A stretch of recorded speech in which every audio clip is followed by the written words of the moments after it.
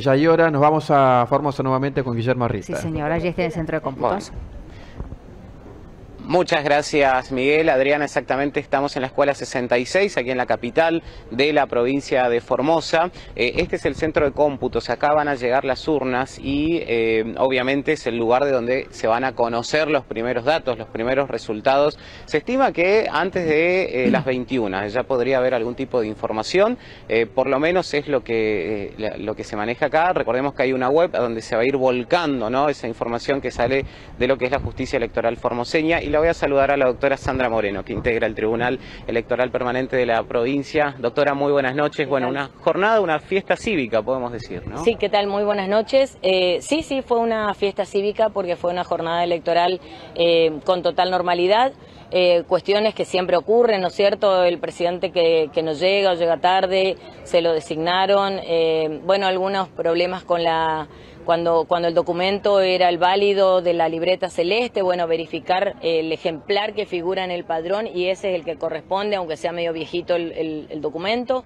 Eh, bueno, cuestiones normales que se fueron resolviendo. Eh, la verdad que todas las directoras y directores de escuela actuaron correctamente, eh, hicimos mucha capacitación pero más allá de eso tuvieron mucho compromiso para trabajar toda la noche. Bueno, algunos todavía están contando votos. Doctora, acá van a llegar las urnas. Sí, acá van a llegar las urnas. Como verán, tienen un sistema de camas con rodillos con sensores de manera tal que la urna se traslada y llega a su lugar de resguardo en perfecto estado y sin estar sucia ni bien limpia, porque con ese material tenemos que trabajar a partir del miércoles en el escrutinio definitivo. ¿Denuncias de algún tipo, reclamos no ha habido? No, no, denuncias no. Eh, algunos eh, cuestionamientos que pudimos resolver por teléfono, ¿no es cierto? Eh, no sé cómo, cómo decirle la situación de los fiscales que tenían que ir a votar, de los fiscales cada uno de los partidos, después se pusieron de acuerdo en dejar un suplente mientras va a votar porque no se agrega nadie al padrón. Cuestiones así que se fueron resolviendo. ¿A qué hora podrían estar los primeros resultados, doctora? Bueno, a las 20 horas va a ser la puesta en cero del sistema. Para eso están invitados los partidos políticos, apoderados, sus fiscales eh, informáticos y la prensa, por supuesto. Tenemos también a los observadores universitarios que, están que estuvieron en toda la provincia y van a venir ahora a presenciar eso. Y creo yo que a partir de las 21 vamos a poder cargar los primeros datos. Llegan los telegramas, se validan con un código de barras una vez validado y siempre que sean legibles los datos, se empiezan a cargar. Y esto se va a poder ver en elecciones.formosa.gov.ar, donde no solamente van a ver los datos, sino también van a poder ver la foto del telegrama que se está cargando. La última, doctora, ¿el nivel de participación en la jornada de hoy? Bueno, fue altísimo, la verdad que eh, nos sorprendió.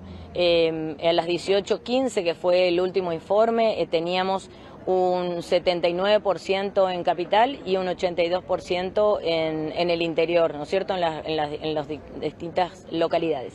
Muchas gracias, doctora. Gracias a ustedes. Muy amable. La doctora Sandra Moreno, entonces, quien integra, está a cargo ¿no? del Tribunal Electoral Permanente de la provincia. Como les decía, a este lugar, a este, esta, esta sede, esta escuela, va a llegar el centro de cómputos y este, es visible. Ustedes van a poder ver ahora, si, si este, nos podemos reubicar, les vamos a mostrar bien. Eh, qué importante es que podamos, eh, se pueda ver desde la vereda. ¿eh? Cualquiera se para en la vereda y ve cómo ingresan las urnas y cómo se inicia allí el conteo. Vemos este, esta especie de, plataforma con rodillos que se ha montado acá, que dice resistencia, y así que probablemente esto se haya utilizado también en la elección eh, paso de, del fin de pasado, el fin de antepasado en, resistencia.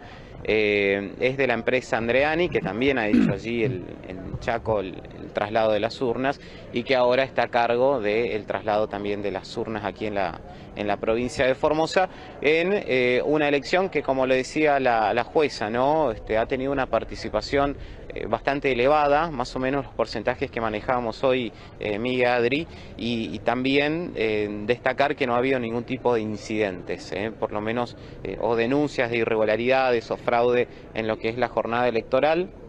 Tenemos información de que ha habido algunas impugnaciones que se están solicitando por parte de la candidata Neme en la Escuela de Comercio, aquí de la ciudad de, Formosa Capital, pero que está siendo resuelto por este, las autoridades de, delegados del Tribunal Electoral en cada una de las instituciones sin, sin mayor este, problema, sin mayor inconveniente. Perfecto, Guille. Bueno, allí están arribando, bueno, a las 20 se pone en funcionamiento todo el sistema ya de carga de datos, tal cual lo decía allí la, doctora que estaba hablando con vos acerca, bueno, del, de este centro de cómputos allí en, Formosa. Es la primera vez que veo que, bueno, desde afuera cualquiera, como decía Guille, puede ver realmente el conteo de votos y cómo es el proceso. Sí, sí, la verdad que sí. Yo también es la primera vez que me ha tocado cubrir muchas elecciones. Es la primera vez que veo que es así abierto al público, ¿no? Eh, la llegada de las urnas y el conteo de, los votos y que está abierto a la prensa. Este, generalmente se suele hacer con los representantes, ¿no? De cada este, partido electoral, de cada alianza electoral y, y un poco restringido al resto. Pero no, acá uno se para en la vereda y puede ver completamente el, hall de acceso a esta escuela, la escuela número 66, José Manuel Estrada, que está sobre la avenida 9 de Julio en la capital formoseña. Sí está cortada la calle, hay un vallado, un mínimo vallado que, este, se ha dispuesto probablemente este, para este, garantizar la seguridad de quienes cruzan la calle acá. ¿no? Hay un movimiento bastante intenso, tanto de eh, integrantes del Tribunal Electoral como de, lo que es el personal de la logística electoral que están con chaquetillas acá trabajando.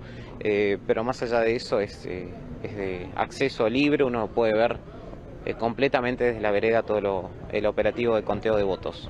Guille, con respecto a la seguridad, el operativo de seguridad, no solamente en, toda la ciudad, sino en este momento, ¿se ven bastante efectivos? Sí, sí, sí, eso me ha sorprendido. Muchísima, muchísima presencia policial, no solo en lo que es la custodia de, de las escuelas, digo, de los centros de votación solamente, sino también eh, mucha seguridad en la calle, en, las este, plazas, en los paseos, muchísima presencia policial. Eh, eso obviamente también garantiza la seguridad en general, ¿no? Este, del sistema de seguridad pública, pero este, eso me ha llamado la atención, me ha llamado la atención y bueno, indudablemente es una... Este, eh, característica, ¿no? Por lo menos es algo que, distingue porque este, hemos escuchado comentarios de, vecinos que hablan de que hay buena seguridad, por lo menos en lo que es la ciudad capital, eh, los índices de inseguridad son bastante bajos. Excelente, Guille. Bueno, vamos a volver en instante nada más. A las 20 arranca allí la, carga de datos oficial con la presencia de con la presencia de este, los medios de comunicación, también de los delegados, eh, fiscales de los distintos frentes políticos y este, luego nosotros vamos a estar teniendo en pantalla eh, la página de, eh, oficial de la Junta Electoral de Formosa para que vayamos eh, viendo online cómo se van ampliando y cómo se van cargando los datos y bueno los resultados preliminares o provisorios del escrutinio. Así que vamos a estar en contacto en instante nada más, Guille, con vos. abrazo grande. Perfecto, volvemos enseguida. Hasta luego. Hasta luego, Guillermo Arrieta, allí desde el Centro de Cómputos en la provincia de Formosa, en Capital, en el Colegio Juan Manuel Estrada, entonces donde se está desarrollando, donde se va a desarrollar la carga de datos y el arribo de las urnas en eh, algunos minutos nada más. Exactamente, y nosotros por supuesto no nos alejamos de la política porque hace un ratito nada más compartíamos justamente el voto de los diferentes candidatos y en esta oportunidad